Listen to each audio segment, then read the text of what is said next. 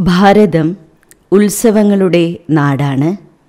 ഓരോ സമയങ്ങൾക്കനുസരിച്ചും ഹിന്ദു ധർമ്മത്തിൽ പല പ്രകാരത്തിലുള്ള ഉത്സവങ്ങൾ ആഘോഷിച്ചു വരുന്നുണ്ട്.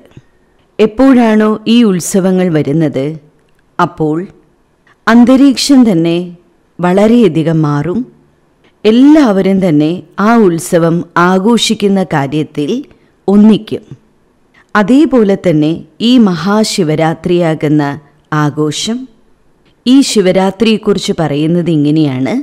ശിവപരമാത്മാവിന്റെ ജയന്തിയാണ്. അവതരണ ദിനമാകുന്നു. എന്നാൽ ശിവൻ എന്നതിനോടൊപ്പം തന്നെ രാത്രി എന്ന ശബ്ദം കൂടി കൂട്ടിച്ചേർക്കപ്പെട്ടിട്ടുണ്ട്.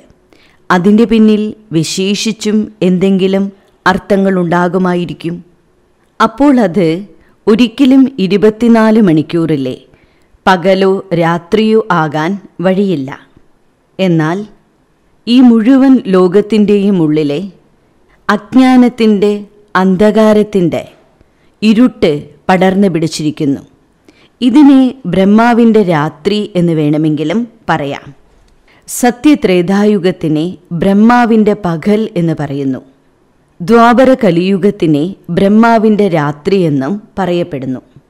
ഈ രാത്രിയാകുന്ന സമയത്ത് എല്ലാ മനുഷ്യാത്മാക്കളും പല പ്രകാരത്തിലുള്ള മൂല്യങ്ങളുടെ ശോഷിപ്പ് കാരണം ധാർമ്മികമായിട്ടുള്ള ശോഷിപ്പ് കാരണം അതപ്പതിച്ചു പോയിരിക്കുകയാണ്.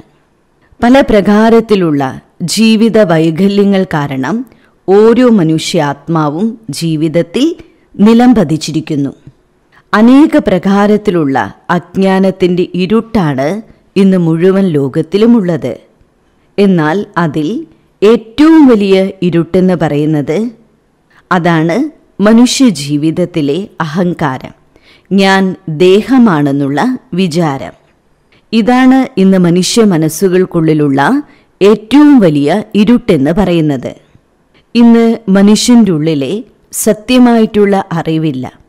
ജ്ഞാനത്തിന്റെ പ്രകാശത്തിന്റെ അഭാവമാണ് മനുഷ്യ മനസ്സുകൾക്കുള്ളിൽ കാണാൻ കഴിയുന്നത്. ഇങ്ങനെയുള്ള സമയത്ത് തന്നെയാണ് പരമാത്മ ശിവനെ പറ്റി പറയാറുണ്ടല്ലോ ജ്ഞാനത്തിന്റെ സൂര്യൻ എന്ന് പറയും. അല്ലെങ്കിൽ ജ്ഞാനത്തിന്റെ സാഗരൻ എന്ന് പറയപ്പെടുന്നു.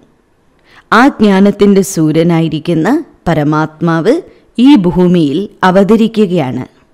അതോടുകൂടെ തന്നെ അജ്ഞാനത്തിന്റെ ഇരുട്ട് വിനാശമാകുന്നു. അതുകൊണ്ട് തന്നെയാണ് ഈ കലിയുഗം തന്നെ ഇരുട്ടാണ്. ഇരുട്ട് മാത്രമാണ് ഈ ലോകത്തുള്ളത്. ഈ സമയത്ത് തന്നെയാണ് നിരാകാരനായിരിക്കുന്ന പരമാത്മാവ് ജ്ഞാനത്തിന്റെ സൂര്യനായിരിക്കുന്ന ശിവൻ ഈ ഭൂമിയിൽ അവതരിച്ചുകൊണ്ട് സർവ മനുഷ്യാത്മാക്കളുടെയും ആത്മജ്യോതിയെ തെളിയിക്കുന്നു. എപ്പോഴാണോ ജ്ഞാനത്തിന്റെ എണ്ണ ഒഴിച്ചു കൊടുക്കുന്നത് അതോടുകൂടെ തന്നെ ആത്മാവിന്റെ ജ്യോതി തെളിയാൻ ആരംഭിക്കുന്നു.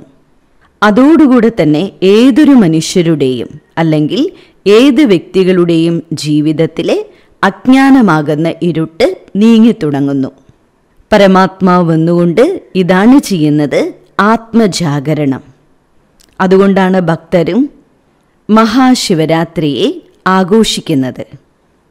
പ്രത്യേകിച്ചും ഭക്തരെ ശിവരാത്രി ദിനത്തിൽ ഉണർന്നിരിക്കുന്നു രാത്രി മുഴുവൻ. എന്നാൽ നമുക്ക് മനസ്സിലാക്കണം രാത്രി ഉണർന്നിരിക്കുന്ന ഉണർവല്ല ഇവിടെ ഉദ്ദേശിക്കുന്നത് ആത്മജാഗരണം അതാണിവിടെ ഉദ്ദേശിക്കപ്പെടുന്നത്. അഥവാ രാത്രികാലങ്ങളിലെ ഉണർന്നിരിക്കുന്ന ഒരു കാര്യമാണെങ്കിൽ ഇന്ന് നമ്മുടെ സമൂഹത്തിൽ തന്നെ എത്രയോ പേരെ രാത്രികാലങ്ങളിൽ ഉണർന്നിരിക്കുന്നുണ്ട്. പലർക്കും അവരവരുടെ ജോലികൾ പോലും നൈറ്റ് ഷിഫ്റ്റ് എടുക്കുന്ന പതിവുണ്ട്. അപ്പോൾ അവർക്ക് എല്ലാ ദിവസവും ഉണർന്നിരിക്കേണ്ടേ? അങ്ങനെയൊരു ഉണർവിലൂടെ അവർക്ക് ഏറ്റവും കൂടുതൽ പുണ്യം ലഭിക്കേണ്ടതല്ലേ? അതുകൊണ്ടാണ് ഇവിടെ പറഞ്ഞത് ഇരുപത്തിനാല് മണിക്കൂറിലെ രാത്രിയുടെയോ പകലിന്റെയോ കാര്യമല്ല ഉദ്ദേശിക്കുന്നത്. എപ്പോഴാണോ മനുഷ്യ മനസ്സുകൾക്കുള്ളിലെ പല പ്രകാരത്തിലുള്ള മനോവൈകല്യങ്ങൾ മനോവൈകല്യങ്ങൾ എന്നതുകൊണ്ട് ഉദ്ദേശിക്കുന്നത് ദുർബലതകളാണ് ദുർവികാരങ്ങളാണ് ദുസ്വഭാവങ്ങളാണ് ദുശീലങ്ങളാണ്. ഇതെല്ലാം തന്നെ മനുഷ്യ മനസ്സിനെ ഇരുട്ടിലേക്ക് കൊണ്ടുപോകുന്നു. അതോടുകൂടെ തന്നെ അധർമ്മം എന്ന് പറയുന്നത് മൂർധന്യ അവസ്ഥയിൽ നമ്മുടെ സമൂഹത്തിൽ ഉണ്ടാവുകയും ചെയ്യുന്നു. അതാണ് പിന്നീട് ഗീതയിൽ പോലും ഭഗവാൻ പറയുന്നുണ്ട് എപ്പോഴെപ്പോഴാണോ ഈ ലോകത്തിന് ധർമ്മത്തിന്റെ അതിഗ്ലാനി സംഭവിക്കുന്നത്? ഓരോ മനുഷ്യന്റെ മനസ്സുകളും ഈശ്വരനിൽ നിന്നും അകന്നു നിൽക്കുന്നത് ആ സമയത്ത് തന്നെയാണ് പരമാത്മാവ് ഈ ഭൂമിയിൽ അവതരിച്ചുകൊണ്ട് മനുഷ്യ ജീവിതത്തിലേക്ക് ജ്ഞാനത്തിന്റെ പ്രകാശത്താൽ സത്യമായ ധർമ്മത്തിന്റെ സ്ഥാപന ചെയ്യുന്നത്. അധർമ്മത്തിന്റെ വിനാശവും ഉണ്ടാകുന്നു സത്യമായ ധർമ്മത്തിന്റെ പുനഃസ്ഥാപനയും ഇത് പരമാത്മാവിന്റെ മാത്രം കർത്തവ്യമാണ്. അത് ആ പരമേശ്വരൻ ഈ ഭൂമിയിൽ അവതരിച്ചുകൊണ്ടാണ് ചെയ്യുന്നത്. എപ്പോഴാണോ ആ പരമാത്മാവിന്റെ ജ്ഞാനമാകുന്ന പ്രകാശം ഈ ഭൂമിയിൽ പരക്കുവാൻ ആരംഭിക്കുന്നത് അതോടുകൂടെ ഓരോ മനുഷ്യന്റെ ഉള്ളിലേക്കും ധാർമ്മികത അല്ലെങ്കിൽ മാനവീയത നിറയുവാൻ ആരംഭിക്കുന്നു. അതോടുകൂടെ മനുഷ്യന്റെ ഉള്ളിൽ സദ്ഗുണങ്ങളും ഉണ്ടാകുന്നു നന്മകളും ഉണ്ടാകുന്നു. ഇനി മനുഷ്യ മനുസ് മനസ്സുകൾക്ക് ധർമ്മത്തിന്റെ പാതയിലൂടെ സഞ്ചരിക്കാനുള്ള ശക്തിയും ഉണ്ടാകുന്നു. ഈശ്വരൻ അവതരിച്ചുകൊണ്ട് തന്നെയാണ് സത്യമായ ധർമ്മത്തിന്റെ പാതയിലൂടെ സഞ്ചരിക്കാനുള്ള ധൈര്യം മനുഷ്യാത്മാക്കൾക്ക് നൽകുന്നത്. എന്തുകൊണ്ടെന്നാൽ ഇന്നത്തെ മനുഷ്യർക്ക് ധർമ്മത്തിന്റെ പാതയിലൂടെ സഞ്ചരിക്കാനുള്ള ധൈര്യമേ ഇല്ല. അതുകൊണ്ട് തന്നെയാണ് ഇന്നത്തെ മനുഷ്യർ നോക്കൂ അലസരാണ് അശ്രദ്ധയുള്ളവരാണ് വിഷാദ രോഗികളായി മാറുന്നു പല പ്രകാരത്തിലുള്ള ആസക്തികൾക്ക് മനുഷ്യൻ അടിമയാകുന്നു. ഇത്രയും മനുഷ്യൻ ദുർബലനാകുമ്പോൾ ഓരോ മനുഷ്യ മനസ്സുകൾക്കുള്ളിലുമുള്ള വിചാരം ഇതാണ് എങ്ങനെ ഞാൻ ധർമ്മത്തിന്റെ പാതയിലൂടെ സഞ്ചരിക്കും. അവർക്കൊരിക്കലും മുന്നോട്ട് പോകാനുള്ള വഴി തെളിയില്ല കാണുവാൻ കഴിയില്ല. അപ്പോഴാണ് മഹാഭാരതത്തിന്റെ കാര്യം തന്നെ ഓർമ്മിക്കൂ. ദുര്യോധനൻ പറഞ്ഞിട്ടുണ്ട് ധർമ്മം എന്തൊക്കെയാണെന്ന് എനിക്ക് നന്നായിട്ട് അറിയാം. അധർമ്മം എന്താണെന്നുള്ളതും എനിക്ക് നന്നായിട്ടറിയാം അതെനിക്ക് നന്നായിട്ടറിയാം പക്ഷേ പക്ഷേ എനിക്കൊരിക്കലും ധർമ്മത്തിന്റെ പാതയിലൂടെ സഞ്ചരിക്കാൻ കഴിയുന്നില്ല. ഒരിക്കലും അധർമ്മത്തെ ഉപേക്ഷിക്കാനും എന്നെക്കൊണ്ട് സാധിക്കുന്നില്ല. അതേപോലെ ഇന്നത്തെ മനുഷ്യരും എല്ലാവർക്കും അറിയാം ധർമ്മം എന്നത് എന്തിനെയാണ് പറയുന്നത്? അധർമ്മം എന്ന് എന്താണെന്നും മനുഷ്യർക്ക് നന്നായിട്ടറിയാം പക്ഷെ എന്നിട്ടും ധർമ്മത്തിന്റെ പാതയിലൂടെ സഞ്ചരിക്കാനുള്ള ധൈര്യമില്ല ശക്തിയില്ല. അധർമ്മത്തെ ഉപേക്ഷിക്കാനും കഴിയുന്നില്ല. അപ്പോഴാണ് നിരാകാരനായിരിക്കുന്ന ശിവപരമാത്മാവ് ഈ ഭൂമിയിൽ അവതരിച്ചുകൊണ്ട് അങ്ങനെ ഓരോ മനുഷ്യാത്മാക്കളുടെ ഉള്ളിലേക്കും ആ ശക്തി അല്ലെങ്കിൽ ആ ധൈര്യം നിറച്ചു കൊടുക്കുന്നു. ഇതിലൂടെ മനുഷ്യൻ അധർമ്മത്തിന്റെ പാതയിൽ നിന്നും മാറി ധർമ്മത്തിന്റെ പാതയിലൂടെ ധർമ്മത്തിന്റെ പാതയിലൂടെ സഞ്ചരിക്കാനുള്ള ധൈര്യവും ശക്തിയും ഉണ്ടാകുന്നു. എപ്പോഴാണോ ഈ തരത്തിലെ ഓരോ വ്യക്തികളുടെ ഉള്ളിലും പരിവർത്തനമുണ്ടാകുന്നത് ഓരോരുത്തർക്കും തന്നെ ഈശ്വരനെ പ്രതി ഭക്തിയും ഭാവനയും ഉണ്ടാകുവാനും ആരംഭിക്കുന്നു. അപ്പോൾ മാത്രമാണ് മനുഷ്യന്റെ ഉള്ളിലും വളരെ വലിയ മഹാപരിവർത്തനം ഉണ്ടാകുന്നത്. ഇങ്ങനെയുള്ള മഹാപരിവർത്തനം ഓരോ മനുഷ്യന്റെ ഉള്ളിൽ നടക്കുമ്പോൾ അതിന്റെ അടിസ്ഥാനത്തിൽ യുഗപരിവർത്തനം തന്നെ സാധ്യമാകും.